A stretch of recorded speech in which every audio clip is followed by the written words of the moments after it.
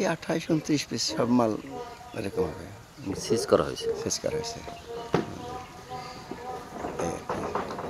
তারপর যাই হোক ওই ট্রলারটা কিছু আনলোড করিয়া পরে ট্রলার ঘুরে আসতে আছে এই জোয়ারে আসবে আর কি। কারণ ট্রলারটা তো আমাকে অফিস ঘাটে আনা দরকার আছে।